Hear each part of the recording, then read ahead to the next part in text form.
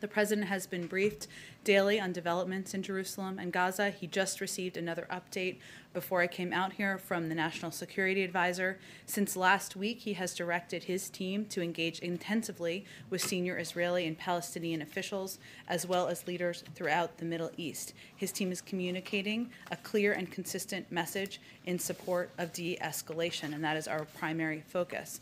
The president's support for Israel's security, for its legitimate right to defend itself, and its people is fundamental and will never waver. We condemn ongoing rocket attacks by Hamas and other terrorist groups, including against Jerusalem.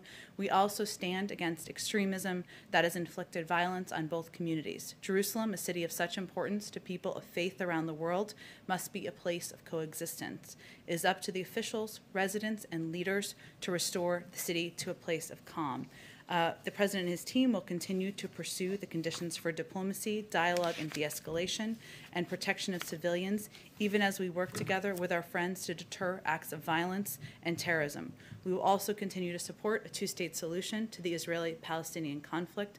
That is the only way to ensure the just and lasting peace that two peoples have struggled to achieve. We believe Palestinians and Israelis deserve equal measures of freedom, security, dignity, and prosperity.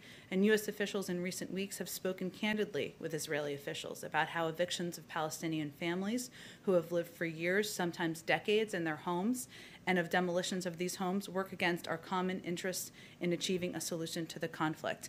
In the coming days, as Muslims gather with family and friends to celebrate Eid, uh, and Jews join together to mark the, the beginning of Shavuot, let us affirm that all people of faith deserve to enjoy these important celebrations without fear of violence and work toward peace and calm for all.